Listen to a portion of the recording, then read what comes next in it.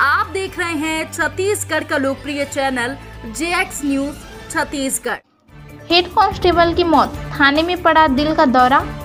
चकरभाटा थाने में गणना के बाद हेड कांस्टेबल थियोडोर तिर्की छप्पन वर्ष गश्त खाकर गिर पड़ी। अस्पताल ले जाते समय थियोडोर तिर्की की रास्ते में ही मौत हो गई। पुलिस इस मामले की जाँच में जुट गई है। मिली जानकारी के मुताबिक आज सुबह टीआई सुनील तिर्की अपने सभी स्टाफ की गणना ले रहे थे।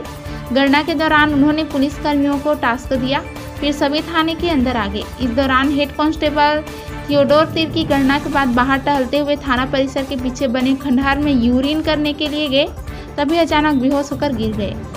उन्हें देखकर एक युवक ने थाने में जाकर इस घटना की सूचना दी। तब दौड़ते हुए थाने के स्टाफ वहाँ पहुँचे और उन्हें उठाया गया।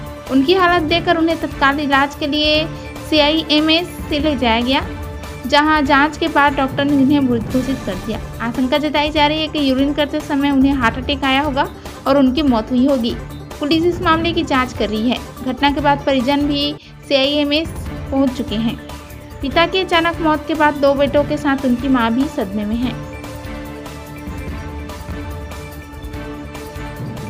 खबरों में बने रहने के लिए जे एक्स न्यूज़ को सब्सक्राइब करें।